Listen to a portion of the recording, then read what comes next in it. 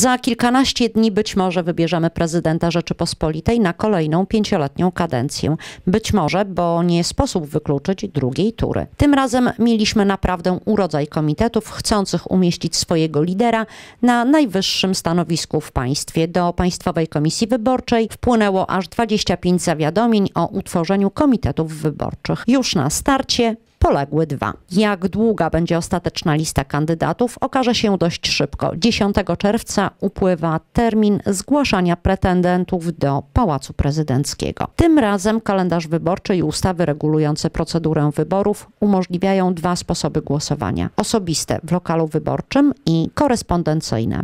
Osoby zamieszkałe poza granicą Rzeczypospolitej i chcące głosować korespondencyjnie powinny swój zamiar zgłosić konsulowi do poniedziałku 15 czerwca, choć rozporządzenie marszałka Sejmu wskazuje na datę o dwa dni wcześniejszą. Jeśli termin upływa w sobotę, to zostaje z mocy prawa wydłużony do pierwszego dnia roboczego po ustawowej dacie, wyjaśniła nam Alicja Dąbek, szef suwalskiej delegatury Krajowego Biura Wyborczego. Obywatele mieszkający w kraju taki zamiar mogą zgłaszać komisarzowi wyborczemu do 16 czerwca. Powinni to uczynić za pośrednictwem Urzędu Gminy. Jeśli nie możemy głosować samodzielnie, możemy ustanowić pełnomocnika.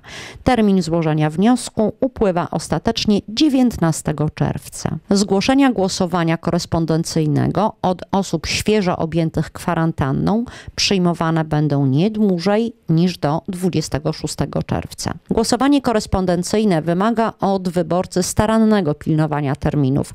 Zapoznać się z nimi można na stronie internetowej wybory.gov.pl. O tym, jak technicznie będzie wyglądało głosowanie w czasie trwającej epidemii, powiemy już niebawem.